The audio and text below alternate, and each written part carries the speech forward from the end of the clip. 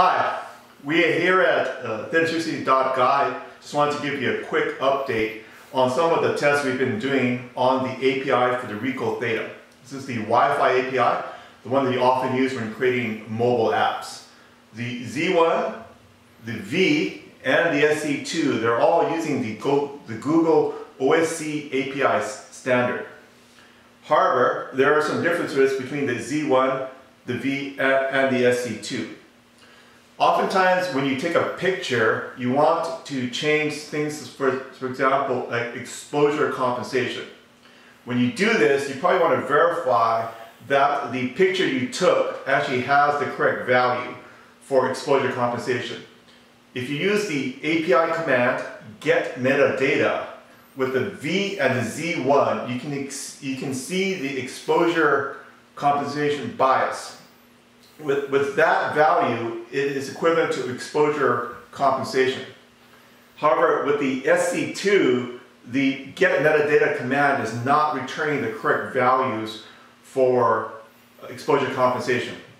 Well, there's a solution. What you need to do is in your mobile app or your desktop app, you pull the image down into the mobile app.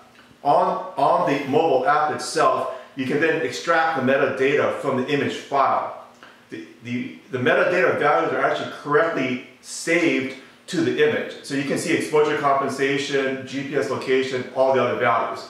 We have a document on this, so you can also check that out.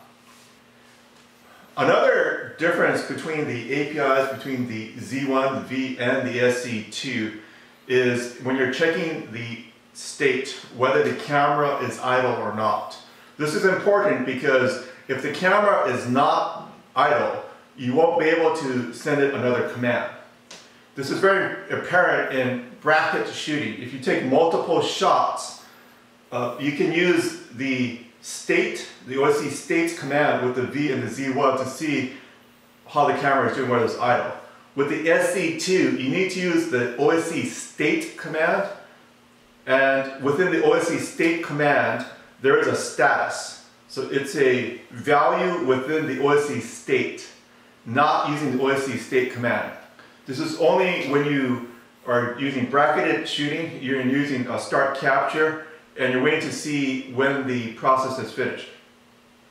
For uh, if you just do state, take image to for a still image, you could use a OSC state or OSC status with the SC2. So your programs might have worked with the Z1 and the V if you're checking the status of the camera, meaning that uh, you're checking to see whether it's idle and you can send it another command, such as take another picture. If you don't do this check, your, your command may fail. So just another thing to be aware of when you're programming for the new SC2. It's a great little camera, very popular, takes great pictures. Just a few differences with the API they have to be aware of. Good luck.